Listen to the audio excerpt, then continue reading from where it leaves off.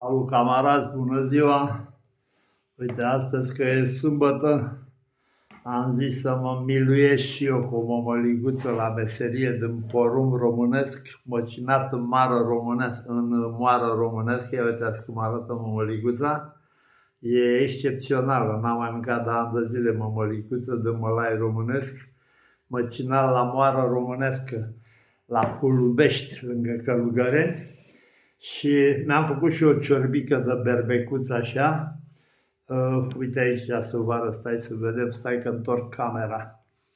Uite aici, ciorbica de berbecuț, bucățele de berbecuț aici.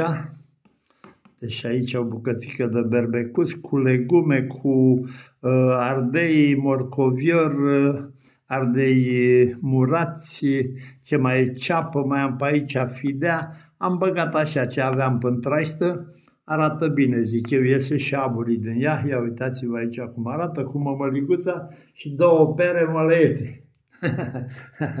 Vorba aia, pară mălăiață în gura lui nătăfleață. Așa era povestea când eram copii. Deci mănânc și o ciorbică de berbecuț cu mămăliguță la meserie, am și un pic de apă din mijlocul pădurii Comana, aici, apă de izvor, am și un pic de sare de la Turda. Sare de la Turda, scrie aici, Turda. Unde? Aici, aici scrie. Turda. Se vede aici, Turda. Așa, deci mergem pe încredere că mâncăm, mâncăm românește, știți, așa?